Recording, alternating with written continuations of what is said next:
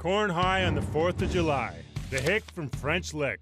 Hoosiers, John Wooden, Hinkle Fieldhouse. Sure, they're all part of Indiana lore and Indiana basketball, which is one and the same. But there's a new story unfolding being written by two Canadian kids thriving in the American heartland. One of the league's best first year players, Bennedict Mathurin.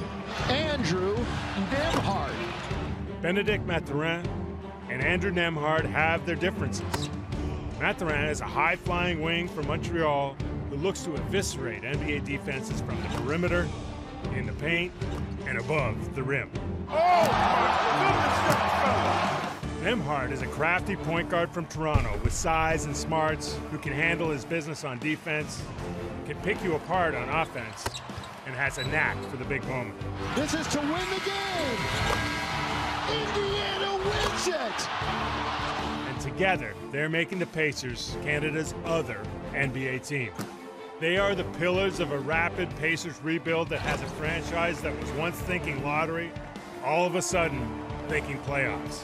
Pacer fans, you've got to be happy Yes. that anything's possible.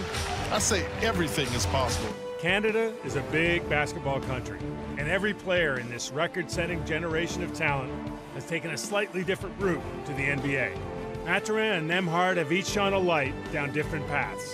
Mathurin left Montreal for Mexico City at age 15 to play and learn at the NBA Academy there. Then it was a starring role in Arizona, All American recognition, and a spot in the NBA draft lottery. Nembhard took a long road too. High school in Florida, where he was a teammate with RJ Barrett, two years playing college at Florida, two more for Gonzaga, and finally having to wait until the second round to hear his name at the draft. But once the Canadian kids arrived in Indiana, good things began to happen. And another chapter in Indiana's long basketball history is poised to be written.